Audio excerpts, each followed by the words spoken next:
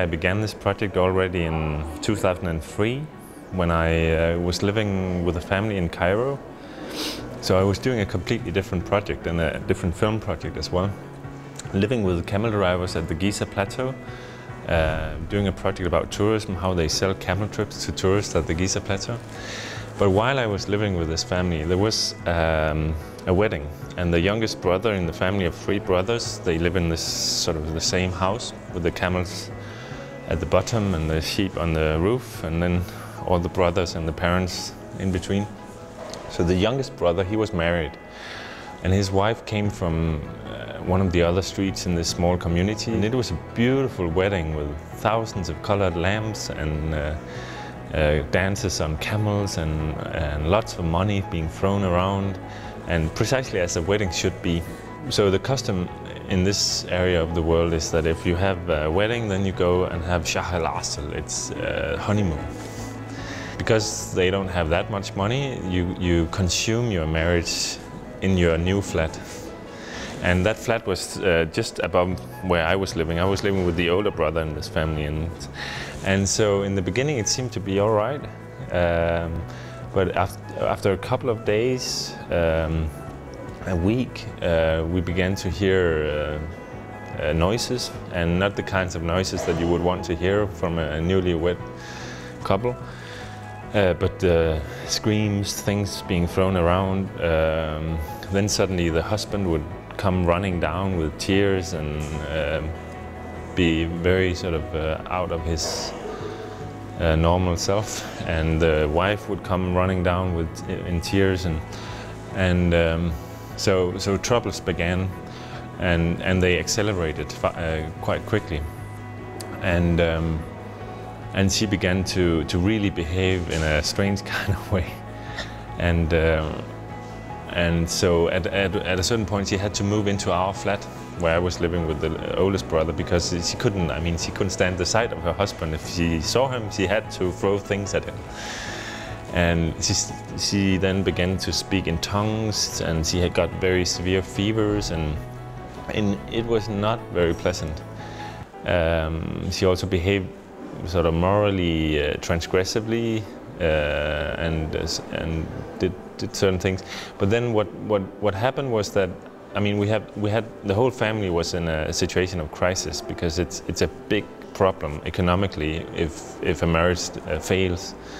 Uh, it's a big investment for these families. Something had to be done, and I was I was quite sure what was going on. She was sort of developing a psychosis or having some kind of uh, uh psychosomatic symptoms.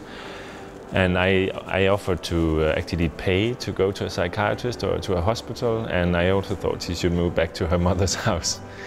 And, and they were kind of agreeing that this could be a possibility, but on the other hand, they thought it would be better to go to a sheikh, a Muslim sheikh, an exorcist, and uh, check if it had anything to do with magic or uh, evil spirits called jinn.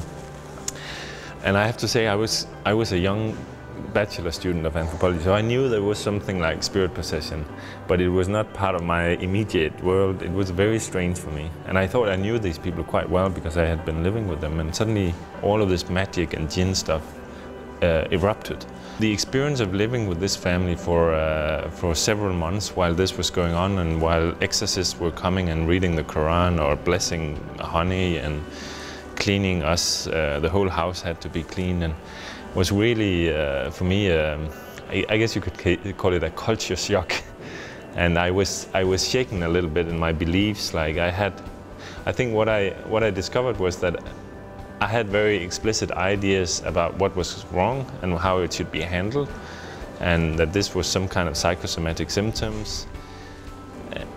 Uh, but what I discovered was that I guess the, that vocabulary covers over things in my own world that I actually don't know much about either. And so the, the way I thought their vocabulary, like jinn possession, magic and stuff like that was really bullshit and covering over something that they didn't know what, what, what was. I, I became aware that actually psychosomatic symptoms and psychosis and schizophrenia and all these concepts are also ways of dealing with the invisible in human life. And uh, and so I was shaken to a certain extent, extent and I also found myself um, even though I was absolutely sure we should go to a psychiatric hospital, I couldn't help uh, when, especially when I entered the bathroom in the lower floor where the camels are and the parents are living, which is a very filthy toilet. And these jinn spirits, they live in this parallel world where everything filthy they kind of like. So when I found myself entering this toilet, I couldn't help sort of trying to protect myself with a small homemade supplication or something. So, so kind of like being caught between different worlds or different ontologies about these things. That was my that was what aroused my initial interest for this topic. And then goes a long story about I decided to read about these things and I studied them and I applied for a PhD and I moved to Denmark and um, and in Denmark it became uh, I, I started working with Muslim refugees in Denmark and there it became very much this this antagonism between uh, the Danish state and the Muslim refugee population, and uh, especially between the psychiatric Danish psychiatric system and the sort of Salafi uh, uh, form of Islam.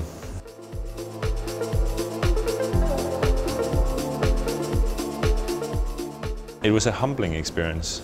So the, the, the experience of being absolutely sure that you know what the other does not know you know better, I know better what's going on. These people are somehow uncivilized.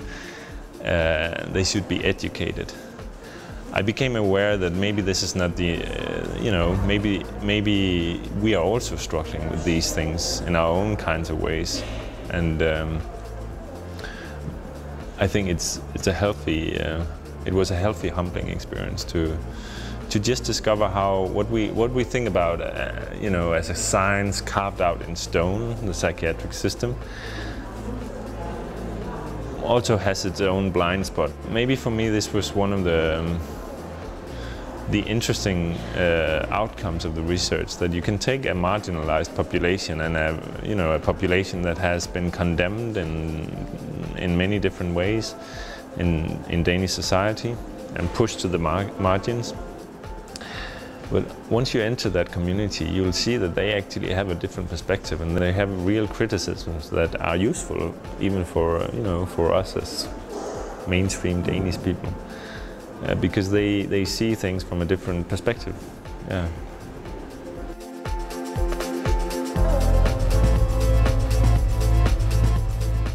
The Muslim community, they have been exposed to quite severe uh, media attention and um, also journalists working with candid cameras and uh, sort of trying to expose Islamic crazy stuff. Um, so they have had a hard time in Danish media. Uh, but uh, and there is lots of research being done there, and so they're really maybe the you know the a lot of research is being made, a lot of intelligence uh, reports are being written and so on and so forth. Um, but it's all about extremism, radicalization, terrorism, fundamentalism. so when I uh, went out there and asked, so what about healing? Uh, does whatever you do in the mosque have anything to do with healing? Then they were very supportive of this idea that we should make a, a film about that. And um, the psychiatric uh, institutions were a little bit more difficult because you have much more, uh, you, you, need to apply for a lot of, uh, you, you, need to go through ethical committees and things like that. And there is also maybe a, uh, people are more protective professionally. Um, but I managed and I found some people who were supportive of the project. And I guess my role in, in their lives at that point was to be a kind of witness to what was going on, and they, some of them probably found it helpful that I was there to observe and, and as a witness.